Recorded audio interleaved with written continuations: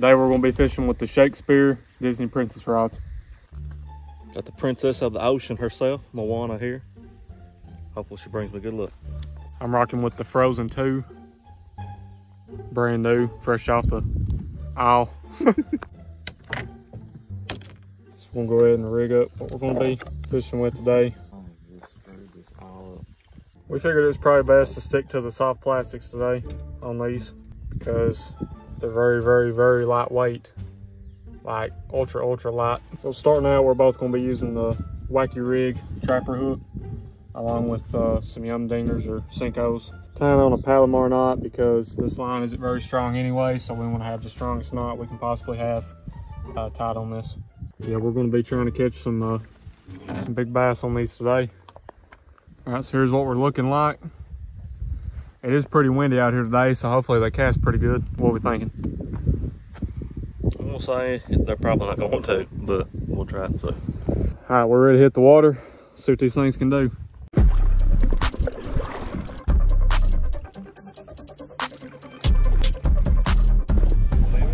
Golly, I cast it over and it went that way. I say, man, I ain't got to sit and worry about if he's got one on or not. Listen, wind is so bad. How you tighten the drag on these things?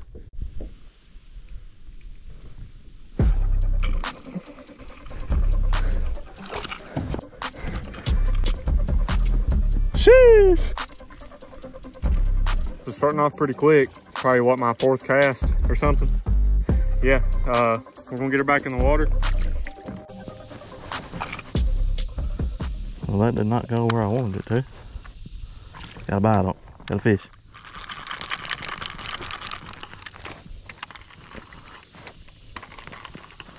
It did. Does got one. Come here. that is the smallest bass I've ever seen. Moana, queen of the seas, hooked me up with a fish here.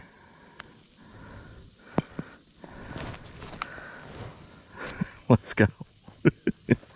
That was my first catch on the Shakespeare. Um, what's pretty cool about it, it didn't even feel like really, like I could tell I had the fish on, I could tell when it bit. Uh, but I thought the rod would like be bent in half, which it wasn't that big of a bass either. But yeah, it, it done pretty good against that bass, so. All right, Moana. Well, that ain't where I wanted it to go. I'm curious to see what they to do with the big one.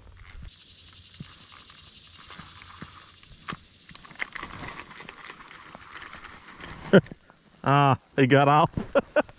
Dang. You definitely can't set the hook hard on me.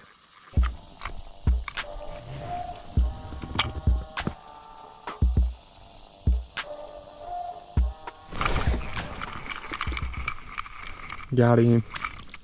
Oh, it got off. Dang.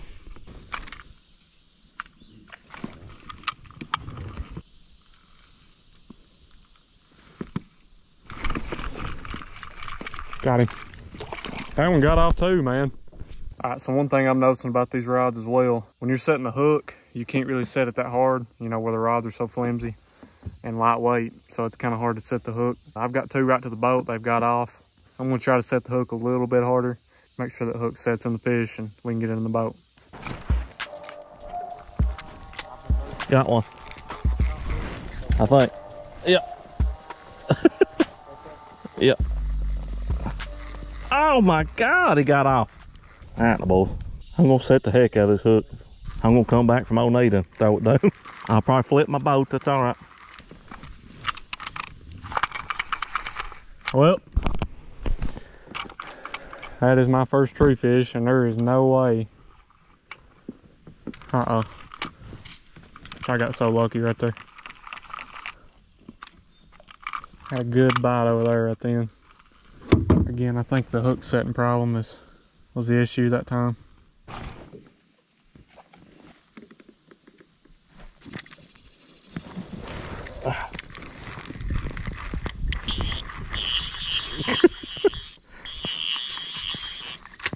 I'm on. Dang it.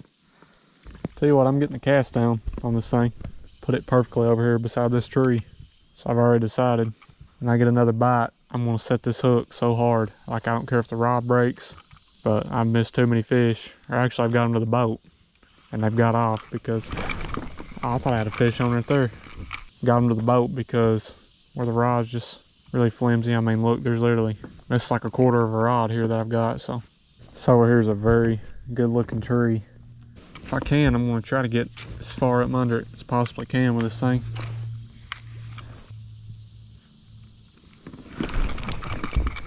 Think I got him. Oh yeah. Oh yeah. Oh, it got off, man. I seen it right here.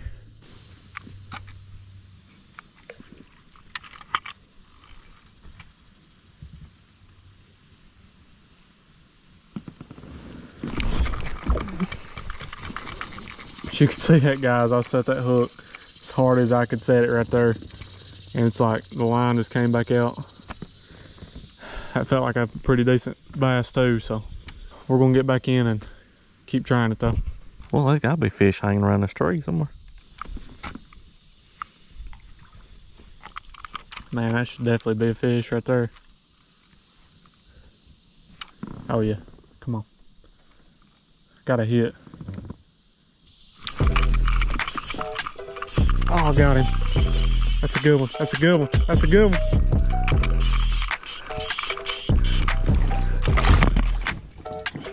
Oh yeah. All right, boys, so not as big as I thought, but it definitely felt huge on this rod. Uh, caught her over here by this tree. It was a hard fight. I didn't really think it was hooked pretty good, but we got her perfectly hooked. We're gonna get her back in the water. Hey, I caught about a pound and a half bass over here and it was taking that drag out like crazy. I thought it was a monster. If we do catch about a three pounder, we're destroyed. We'll have to grab it by our hands and start pulling it. No. I got it right where I wanted it, but I didn't want to hit that stick. sure were it there.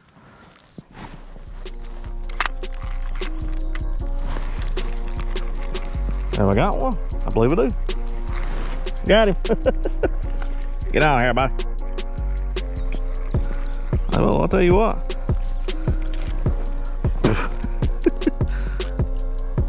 Ain't no big feller.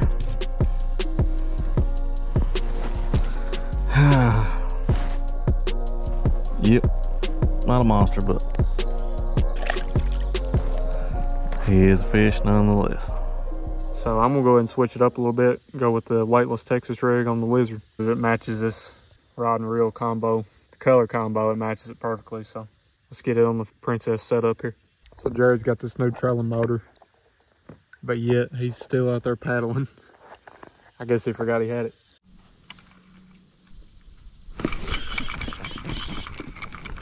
Ah, oh, dang it. Got a bite on the lizard. But unfortunately, couldn't get it done because of these bot rods. Oh, Brandon, I've been thinking maybe uh, MMA fishing should make some kid rods. Yeah, I agree. Because, I mean, we've caught fish on these, but we've also missed a lot. oh yeah, we're definitely missing them. Just can't set the hook on them. So MMA, if you watch this video, Brian, Matt from MMA Fishing, maybe uh, make a, a kid's fishing rod. I'm not gonna stop till I get one on this lizard. Close up of the rig I'm running. All right guys, so what, from what I've noticed so far on my Moana rod, you can't really feel the bites on them because they're not sensitive at all, but you have to use uh, some line watching techniques, so not been too bad so far. I've actually had a few fish on that I didn't even know I had on until I started reeling in, but keep rolling.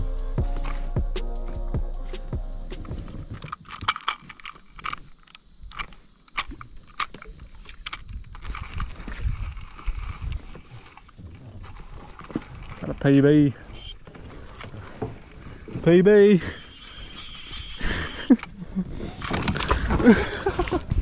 oh no. I about lost my princess frog, guys. That would have been a bad day. Elsa went for a swim.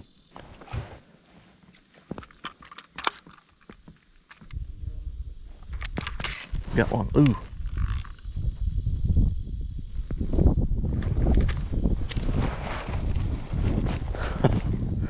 He's wanting so hard to take it.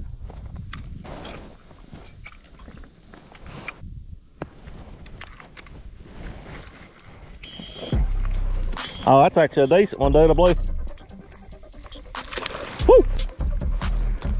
He is pretty good one. yeah. Listen to that Shakespeare drag come out there. Done. Not a bad little fish. From Moana. Let's go. Back in there, bud.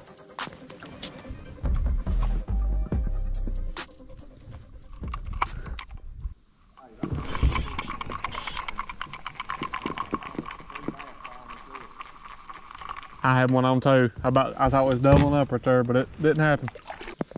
See if we can close to this tree.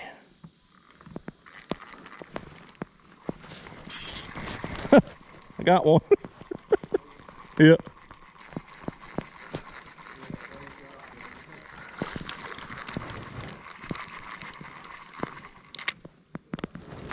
Yeah, he ain't, he ain't a giant, but oh, get get over here. you definitely can't fight them with these things.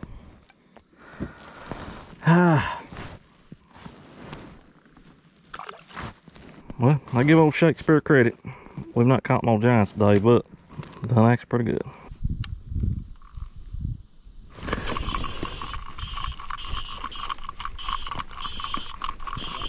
Yep. Ah, finally got one on the lizard and it's tangled up around the hook, but it is a dink, but I'm just happy I got one on the lizard finally.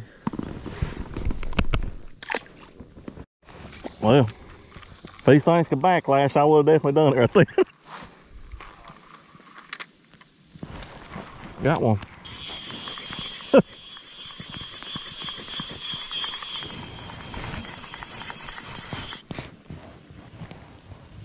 well, I think I'm hung. Dang. If only that was a fish. Boys, I apologize. I thought I was recording, but apparently not. But we got another one on the lizard. This one looks like it's fresh off the spawn. So we'll get her back in. That fish was wearing a diaper. I had a passy in its mouth. yeah.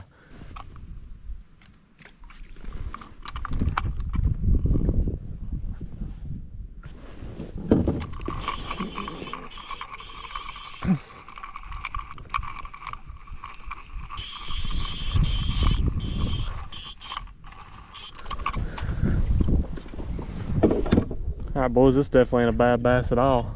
Got this on the wacky rig worm, literally right there as soon as I cast it in. Pretty decent sized bass, probably my best one of the day. So we'll get her back in. All right, guys, so my GoPro died. I don't know if you can see this grass, but I caught that fish right on the edge of the grass right there.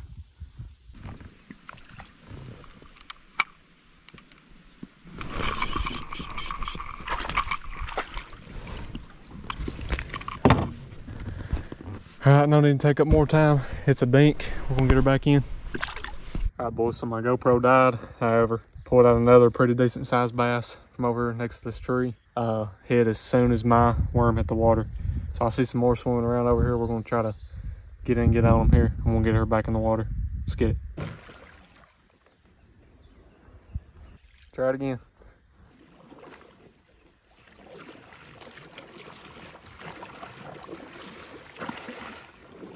Let's. Hey, the battleship made it, son. All right, so we're wrapping up out here. What'd you think about the, I about said Barbie rods, but Princess rods? They done the job. Hard to cast with and no sensitivity, but they done all right. Yeah, I mean, I think they actually done pretty good casting myself. Uh, I was getting them in the spots I wanted it. Uh, I think the hook set and the drag. Hook set was definitely. Yeah, hook set was definitely the issue that we both seen. Um, we got it. We got it done though. I think I got. I can't even remember. Maybe five or six or something in the boat. I don't know how many I lost or missed, but yeah, we lost definitely a lot more than what we got in the boat. So Overall, though, it wasn't a, a bad experience. yeah, guys, be sure to go check out MMA Fishing or Boys.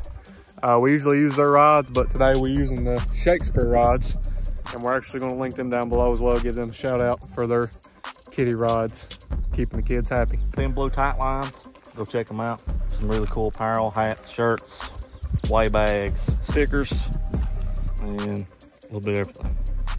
Also, a big shout out to DH Baits. Uh, unfortunately, we couldn't use the spinner baits and jigs today uh, on these rods because spinner baits were too heavy and the jigs probably would have snapped on the hook set. So, but yeah, shout out DH Baits. We'll have them all linked below. Go check all of them out. We appreciate you all. Drop us a like and subscribe. Peace.